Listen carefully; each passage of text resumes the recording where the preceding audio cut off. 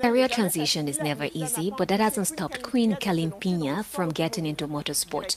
We traveled to Kigali to meet this former Miss Rwanda contestant. She's one of the only women in this field, which is still largely dominated by men.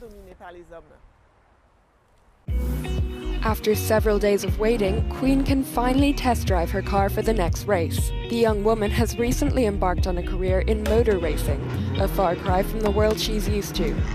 Yet this former finalist in the Miss Rwanda contest didn't hesitate to take a plunge into the unknown.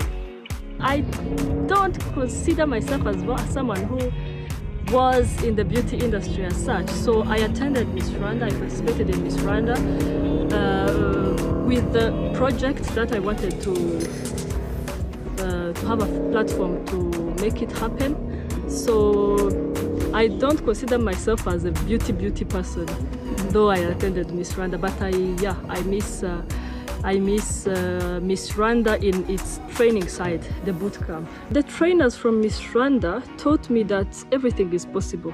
They taught me to have courage and confidence. So I think that I, I didn't hesitate to join motorsports because I had that no fear attitude.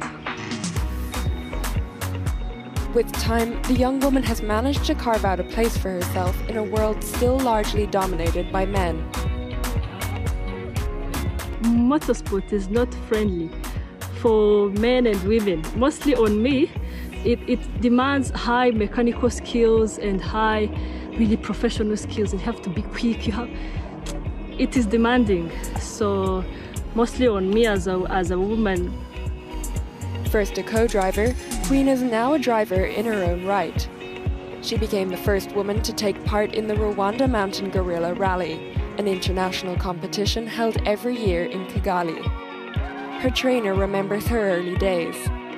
Every weekend we, we were supposed to have trainings, intensive training sessions, I can say.